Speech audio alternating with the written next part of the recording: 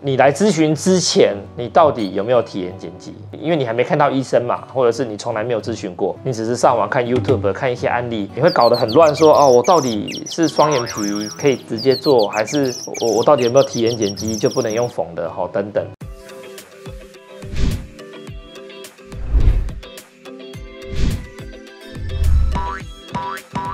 精华美丽，你懂我侬，你的问题有这种。大家好，我是金华诊所整形外科陈维农医师。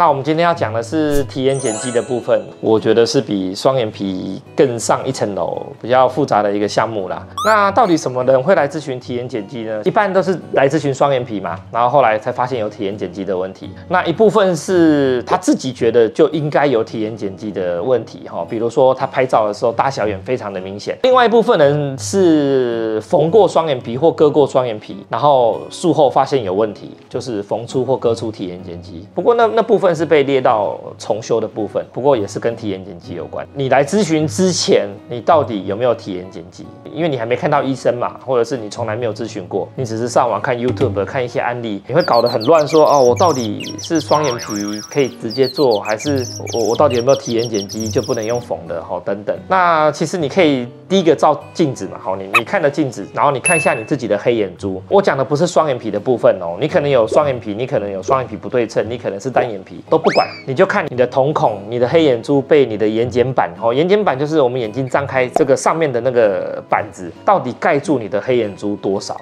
我认为啦，如果低于四分之一哈，可能盖了四分之一，盖了三分之一，好，那基本上你应该就是有提眼睑肌的问题，或者是你拍照。你会觉得我的大小眼好明显哦，怎么一边那么大，一边那么小？那基本上应该也是有提眼剪辑的问题。所以自我检测其实非常简单，你就是照个镜子，你就是拍个照，你可能就会有。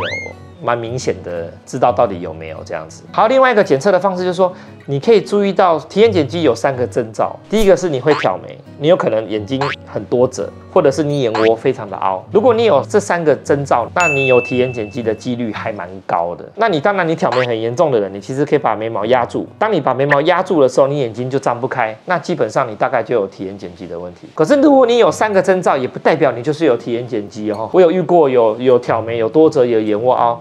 结果提眼睑肌也是没有问题哦，哈，也是有。那这样子的状况，其实基本上就可以缝。啊，眼窝凹你就可以补个玻尿酸，补个脂肪就可以解决了。挑眉你也可以打个肉毒，哈，那就没有问题。可是当你有三个征兆，确定是提眼睑肌，那处理的方式就完全不同，哈，就不能打肉毒，好，可能就不能补东西，补东补西，哈，就是要做割加提眼睑肌。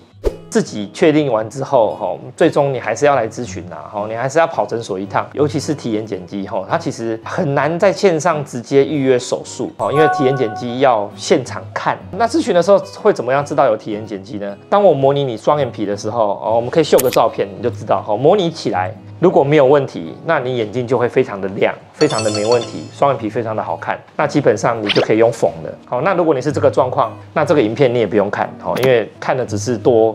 把自己搞得乱一点而已。可是如果你咨询的时候，或者是你撑双眼皮的时候，是没有那么好看的，眼睛非常无神，要么就是有大小眼很明显，要么就是眼睛至少一边盖住四分之一以上的黑眼珠，就确定是体验剪辑。大致上应该是的。理论上我还是会进一步的测试体验剪辑滴药水测试跟模拟测试，滴药水前跟滴药水后，我们都会照片比对给你看，在线上。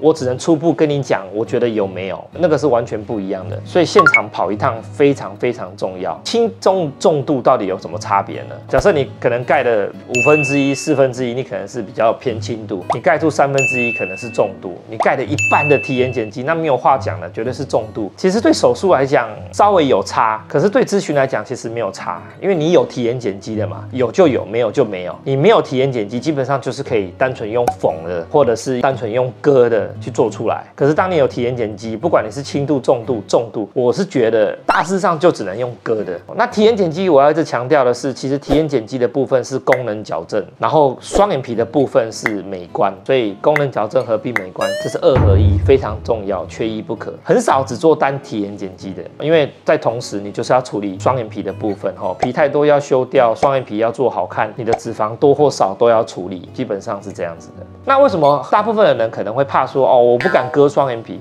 一般割双眼皮怕的就是伤口的部分嘛。可是其实外开体眼睑肌，嗯，伤口真的还好。你只要好好的照顾伤口，好好的抹除疤凝胶。定期回来回诊，基本上都没有太大的问题。那再来就是体眼睑肌到底会不会带来一些困扰？还有到底为什么一定要做体眼睑肌？其实就有点像你去做健康检查。好，你做过健康检查之后，发现你身体出了问题。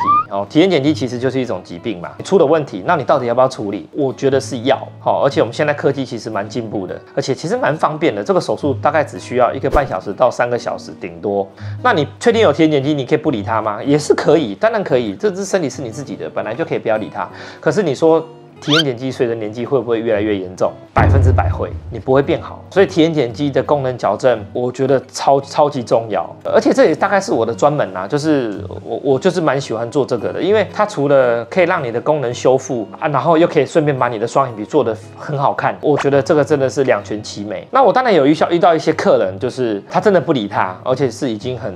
重度了，那他就是不理。其实他过了一两年回来，我们照片比对，他其实体眼睑肌就真的是更严重，只会越来越下垂，然后最后可能就开始会视视力会有一些开始减退了。那你说这样对吗？当然不对啊！你当初如果做的话就没事哎。所以我觉得来咨询之后确定有问题，我会建议处理。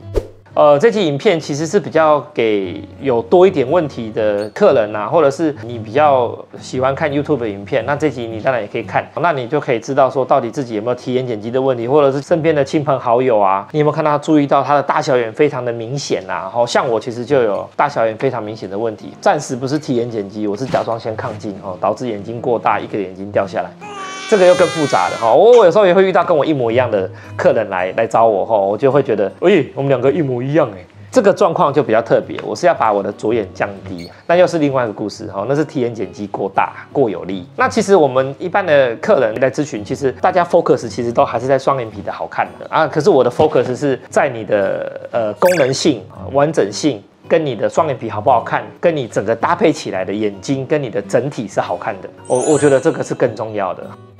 好，如果喜欢的话，可以订阅分享啊，也可以留言，谢谢各位，赞。